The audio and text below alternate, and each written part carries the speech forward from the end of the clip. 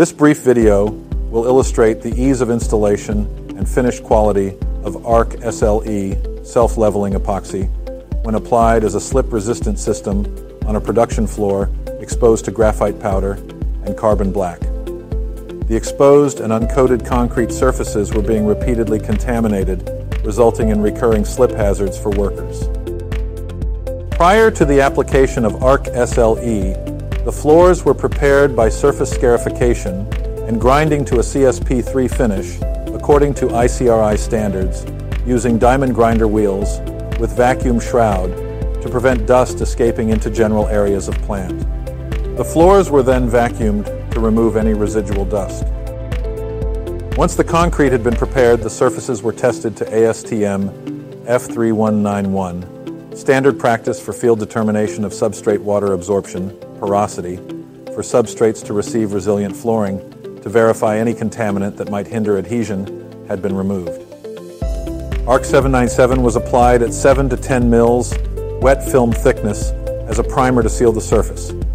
It is important to note that a primer is not required for use with ARC SLE. However, a primer may be used depending on the porosity of the concrete. The following day, after the 797 had cured to full mechanical cure, the surface was power sanded and then vacuumed to remove residual dust residue.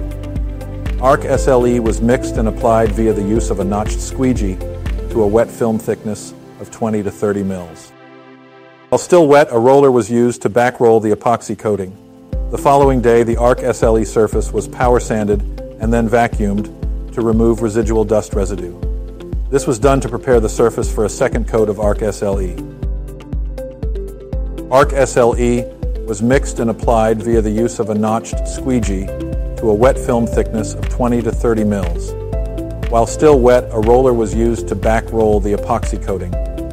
Then a broadcast to rejection of ARC BA1, 30 to 50 mesh silica sand, was then cast into the still wet surface of ARC SLE to create a non-slip surface.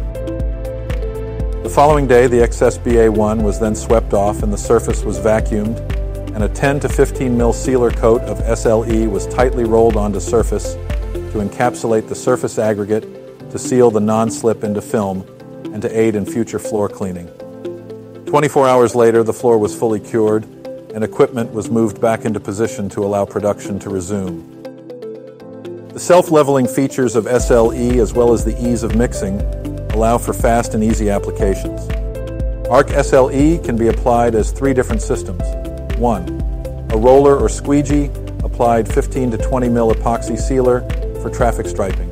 Two, a notched squeegee or pin rake applied self-leveling coat at 50 to 120 mils.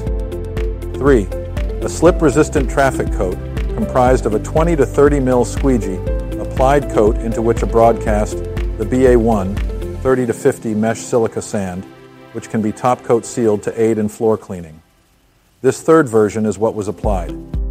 ARC SLE is available in four colors, light gray, RAL 7035, medium gray, RAL 7042, safety yellow, RAL 1023, and traffic red, RAL 3020. To learn more, contact your Chesterton specialist or area manager